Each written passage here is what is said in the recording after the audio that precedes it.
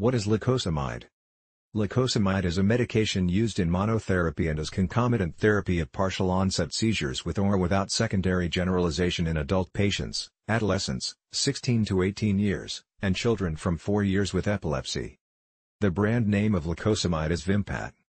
Mechanism of action of lacosamide The exact mechanism by which lacosamide exerts its anti-epileptic effect in humans has not yet been established.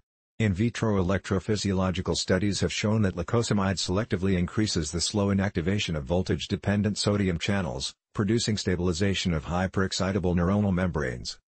Posology of lacosamide Recommended initial dose, 50 mg 2 times day, increased to 100 mg 2 times day after one week.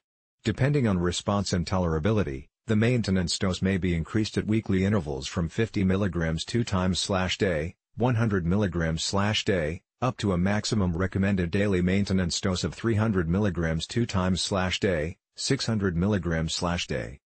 Warnings and precautions. Severe renal failure with end-stage renal disease, maximum dose 250 mg day, hemodialysis, severe hepatic failure, severe heart disease, history of myocardial infarction, heart failure, elderly. Risk of suicidal thoughts and behavior. Not recommended for children under 4 years of age. Risk of dizziness, may increase the occurrence of accidental injuries or falls. Side effects of lacosamide.